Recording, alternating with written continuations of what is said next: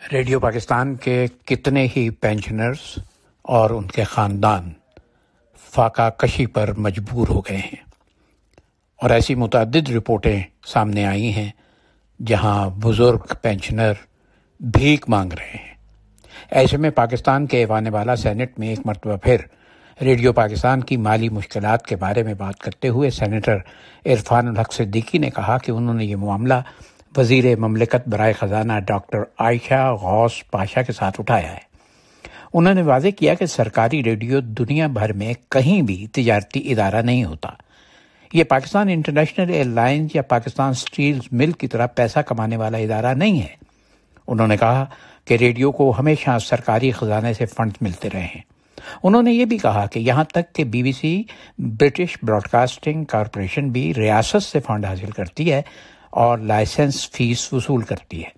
इरफान सिद्दीकी ने मजीद कहा कि पाकिस्तान में रेडियो पाकिस्तान की लाइसेंस फ़ीस काफ़ी अरसे से ख़त्म कर दी गई थी और अब सरकारी नशरियाती इदारे के पास हुकूमती फंडिंग ही वाहि ज़रिया रह गया है।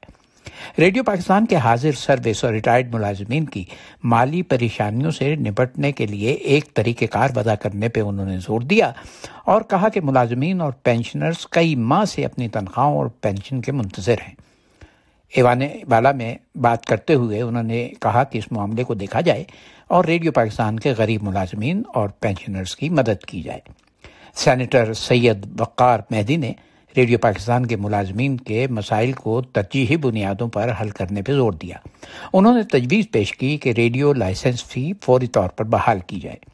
सेनेटर इरफान सिद्दीकी साहब का रेडियो पाकिस्तान से तवील ताल्लुक रहा है और उनके ये ख्याल इसी ताल्लुक के बायस हैं।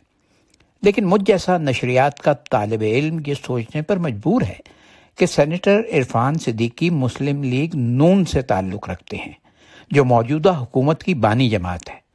वज़ीर ख़जाना और वज़ीर इतलात भी मुस्लिम लीग से ताल्लुक़ रखते हैं। तो क्या ये तस्लीम कर लिया जाए कि मोहतरम इरफान सिद्दीकी की बात खुद उनकी जमात के वजरा भी नहीं सुनते? इरफान सिद्दीकी साहब इसहाक डार को भी बरीफ करके ज़रूर बताएँ कि रेडियो पाकिस्तान कमर्शियल इदारा नहीं, कौमी वर्षे का इदारा है, जो सुबह से शाम तक हुकूमत के लिए काम करता है।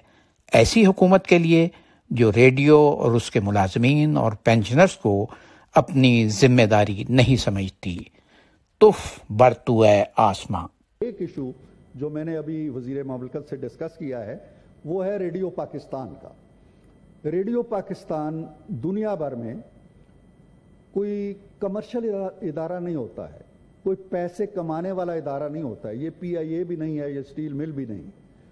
रेडियो को गवर्नमेंट फंड देती है। बीबीसी भी गवर्नमेंट फंडिंग से चलता है और लाइसेंस होता है। आपको याद होगा कि हमारे यहाँ भी कभी रेडियो का एक लाइसेंस हुआ करता था। हमें ट्रैफ़िक वाले रोक के देखते थे जी कि ये लाइसेंस दिखाएँ जी रेडियो का है या नहीं। अब नहीं है। अब नहीं है और ज़रिया आमदनी सिर्फ़ हुकूमती मदद रह गई है।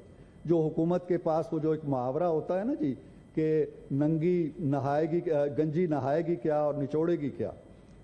तो ये तो हमारे हमारे ये दोस्त जो हैं ये हमें गंजा कर गए हैं। गंजी को एक एक बाल मीशत का नोच के उसे गंजी कर गए। और अब ये कहते हैं ये नहाए भी और नचोड़े भी और बाल संवारे भी और बाल बनाए भी और खूबसूरत बन के हमारे सामने आके बैठे भी। थैंक यू जी। ऐसा आखिरी बात सर। रेडियो के हवाले से मैं ये कह रहा हूँ कि मैं खुद भी एक मैकेनिज्म तजवीज़ करूँगा, लेकिन इस ऐवान के सामने मैं ये बात रख रहा हूँ कि कोई ऐसा कोई ऐसा मैकेनिज्म होना चाहिए। आज पेंशनर्स बाहर खड़े हैं, बूढ़े पेंशनर्स जिनको कई महीनों से पेंशन नहीं मिल रही, तनख्वाहें नहीं मिल रही। ये बदहकमती है, या बद इंतज़ामी है, या बद नज़मी है, या फंड्स की कमी है, ये क्या है? जो भी है, इस पर हमें ज़रूर गौर व फ़िक्र करना चाहिए, और उन लोगों की, जो मजलूम लोग हैं, उनकी ज़रूर मदद करनी चाहिए।